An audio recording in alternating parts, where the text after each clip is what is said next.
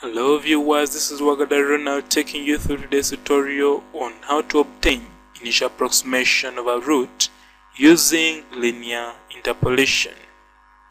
So lesson 1 was about root location, in other words finding the interval within which the root lies. In this tutorial we are interested in getting the initial approximation of a root using linear interpolation method. So after locating the interval within which the real root of a given function lies, the initial approximation of this root can then be obtained using either linear interpolation or graphical method, depending on how the question is asked. So in this tutorial you are interested in linear interpolation, then next lesson, that will be lesson 3, we shall learn graphical method. So if a function fx equal to 0 has a real root between x equal to a and x equal to b, the initial approximation x naught of this root can be obtained using linear interpolation method. And this is based on the fact that fx fx naught will be equal to 0 so shall see how that method is how it is done through this problem. The equation x sine root x equal to 1 has a root lying between a 1 and 2.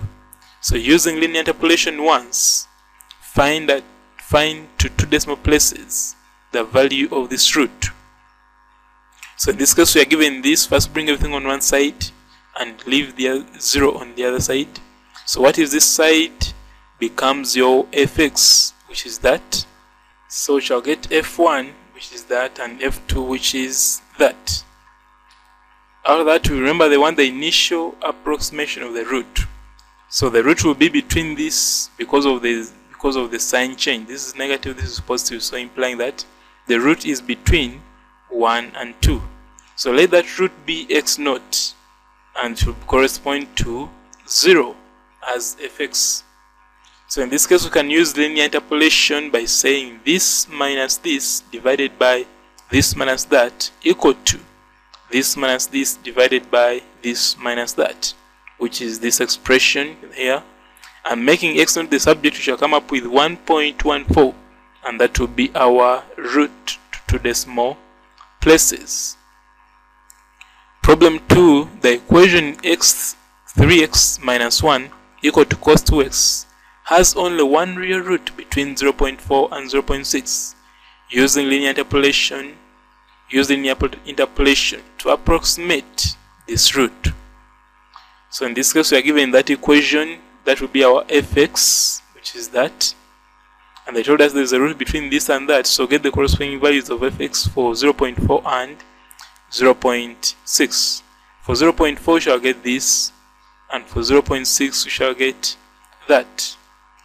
So yeah, we have got two pairs, so we can draw uh, our table. Get x naught. X naught is not known, so it's one we want to get. It corresponds to zero.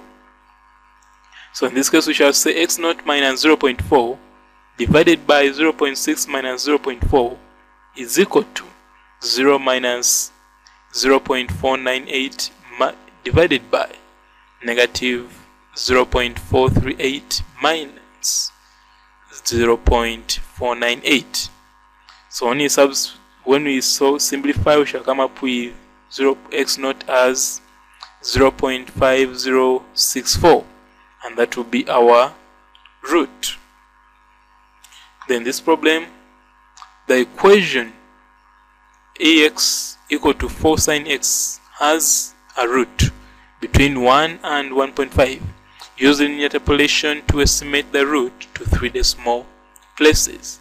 So do the same, first bring everything on one side and call that your fx. After that, get the corresponding values of 1 and 2, corresponding fx values for 1 and 2. For f1, it will be negative.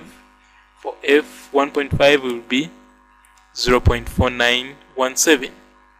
So come and draw a table x naught is not known but it corresponds to 0 so in this case we shall say 0 x naught minus 1 over 1.5 minus 1 will be equal to 0 minus negative 0.6476 divided by 0.4917 minus negative 0.6476 which is that and when we make x naught the subject we shall come up with 1.284 and that will be our root to three decimal places so that brings us to the end of our lesson. Thank you for watching. Please subscribe to my channel rowa e-learning platform